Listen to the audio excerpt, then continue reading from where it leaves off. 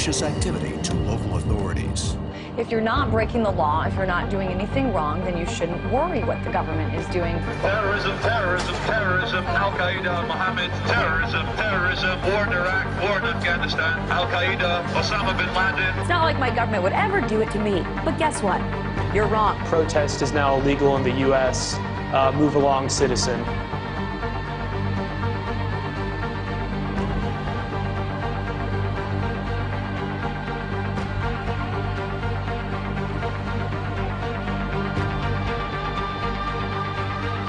And yet we just sit there and calmly feel and say, oh, they're making us safe.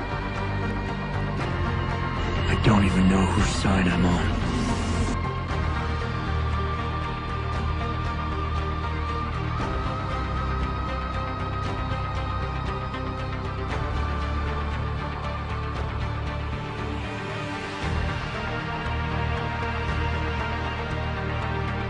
okay? This is straight out of 1984. We're living in a police state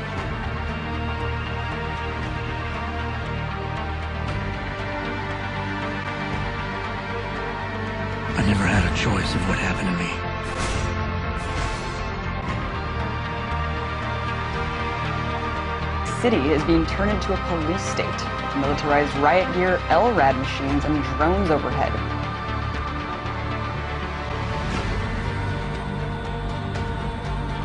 Corporations have more power than the government. Our government now works for the banks.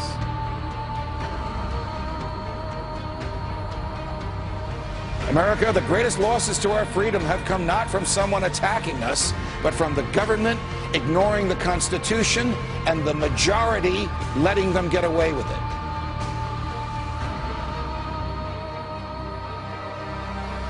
Yeah, we torture. Yeah, we spy on you. Yeah, we do all of this, but it's no big deal. Get used to it. You know what? We're not going to get used to it. Police have opened fire on the crowd. We're all in serious, serious danger. Millions of dollars spent on new police gear, trucks ready to function as rolling barricades. What you have here is this is the war is coming home. If anybody doesn't believe this government is capable, capable of doing these kinds of things, you're out of your Go back to bed, America. Your government is in control again. Well, you know, America's a strange country. All you need to keep them pacified is give them a dozen donuts and a gun. They don't seem to have the capacity, the intellectual capacity, to think of their own self-interest in any other way than oh, the next five minutes. It's time to wake up. Wake up, America! Wake up, America.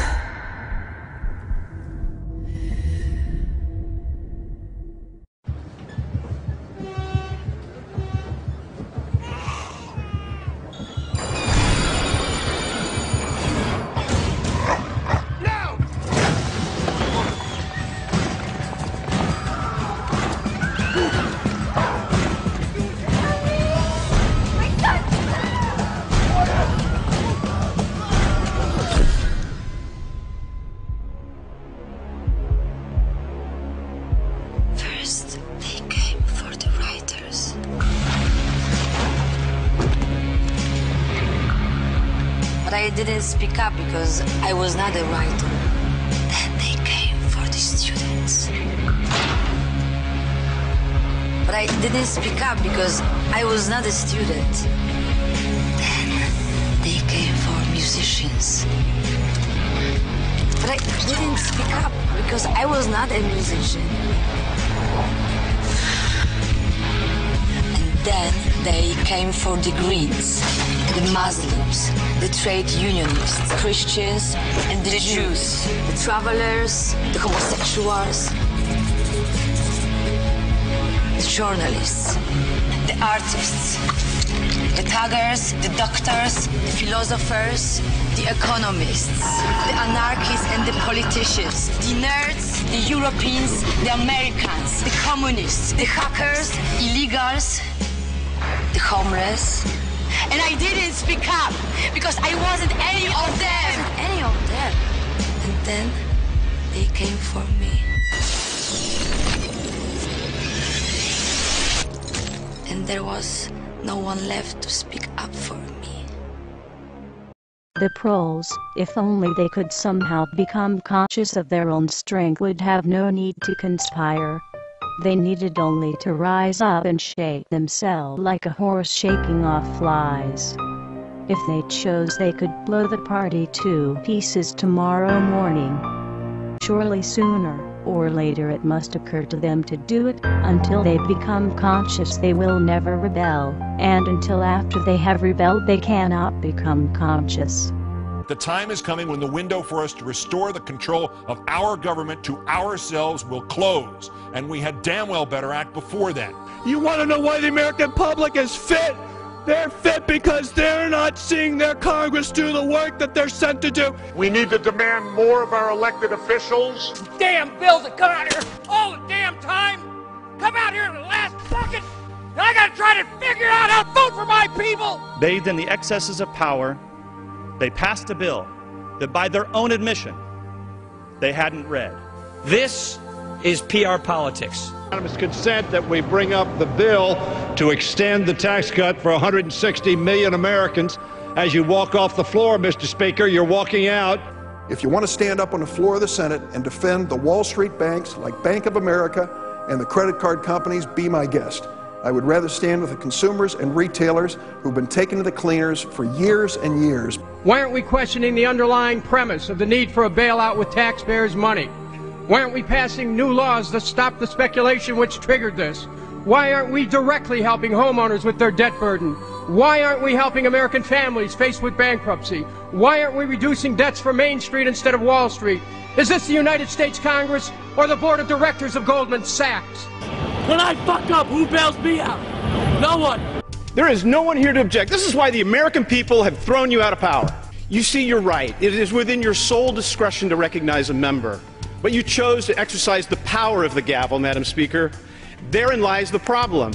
If he's not here to pull off this political stunt, then we should just proceed and, and this bill should be withdrawn. It is the right thing to do by the American people to stop these, these tactics.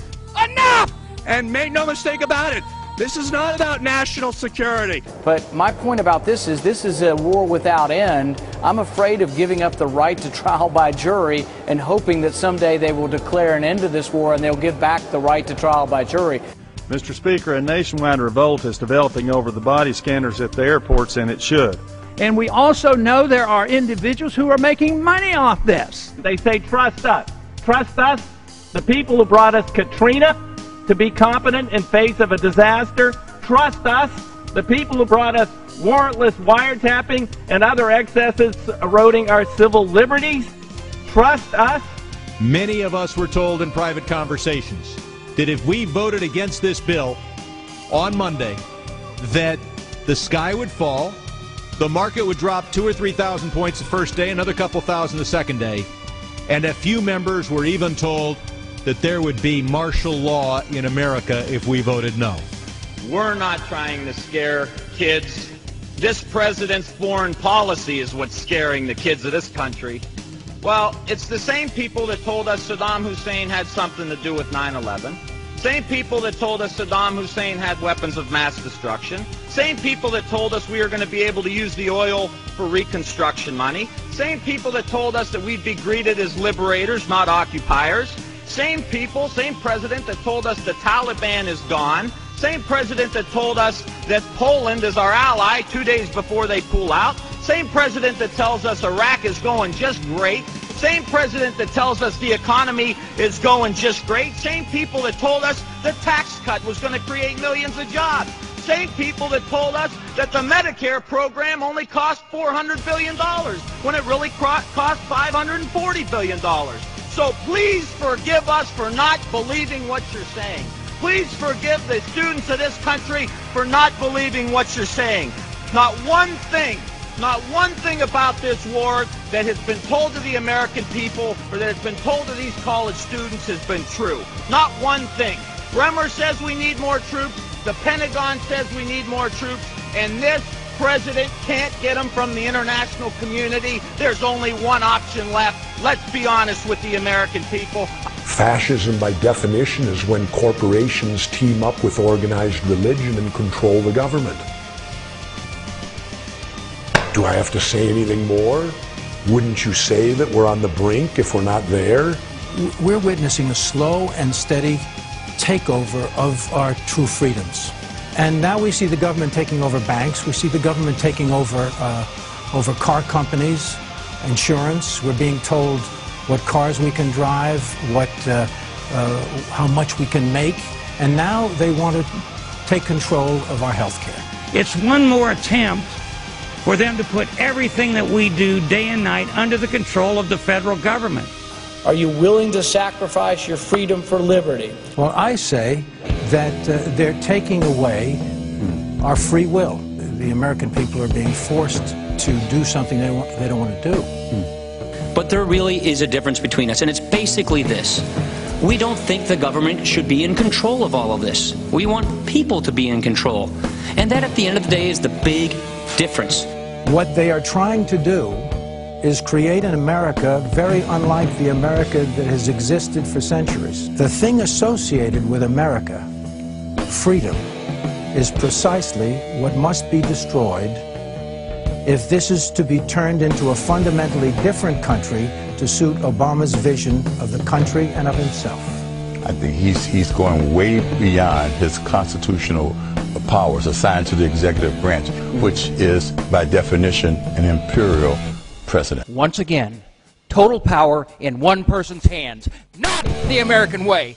Mm -hmm. uh, he's centralizing power inside the Beltway, taking power and decision making from families, from individuals, and as a consequence, what he's doing is building an unchecked executive.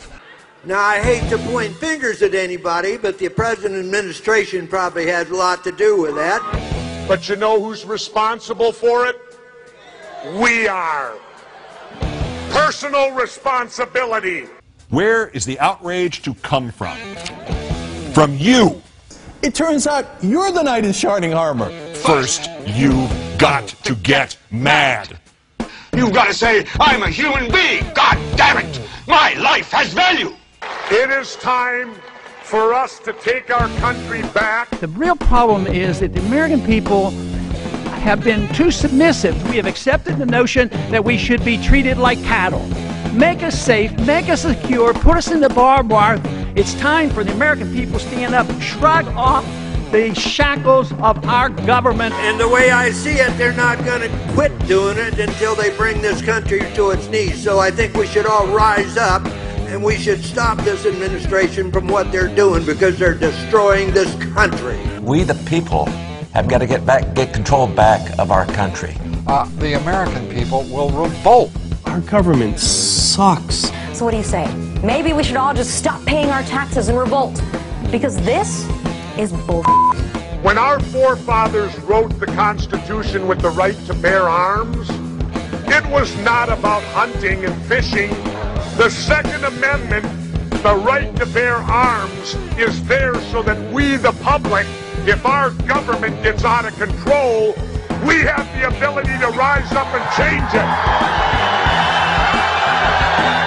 Now, many people have said to me, well, wait a minute. How could we, the citizens, ever stand up to the U.S. government and their entire military might? Well, wait a minute. I got the answer. We threw everything we had at Vietnam, and they were nothing but a bunch of farmers with a few AK 47s, and they withstood it all. Don't ever allow anyone to tell you that it can't be done. It can be done to the government of the United States, those who make peaceful revolution impossible will make violent revolution inevitable. It is the constitutional right of the people to reform this government as we see fit. Over the past year, we have shown you what we are capable of. You can continue to resist us or you can allow us to exercise our rights. We truly hope you choose the latter so that we can peacefully return this country to the principles it was founded upon and restore power to the people, to the citizens of the United States.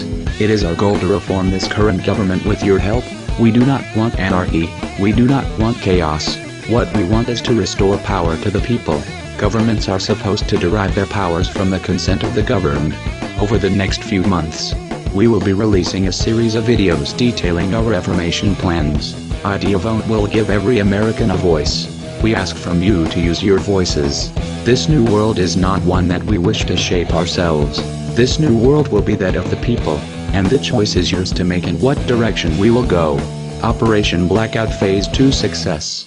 Operation Blackout Phase 3 Engaged. When the people fear the government, there is tyranny. But when the government fears the people, there is liberty when, in the course of human events, it becomes necessary for one people to dissolve the political bands which have connected them with another.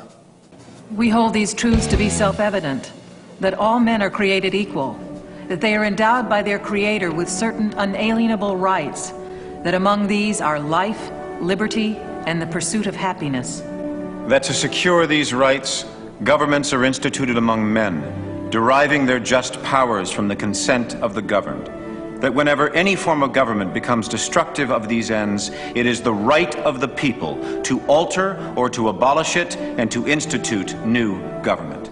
It is their duty to throw off such government and to provide new guards for their future security. He has kept among us in times of peace standing armies without the consent of our legislatures he has affected to render the military independent of and superior to the civil power. He has combined with others to subject us to a jurisdiction foreign to our Constitution and unacknowledged by our laws, giving his assent to their acts of pretended legislation. For depriving us, in many cases, of the benefits of trial by jury for abolishing the free system of English laws in a neighboring province, establishing therein an arbitrary government and enlarging its boundaries so as to render it at once an example and fit instrument for introducing the same absolute rule into these colonies. In every stage of these oppressions, we have petitioned for redress in the most humble terms.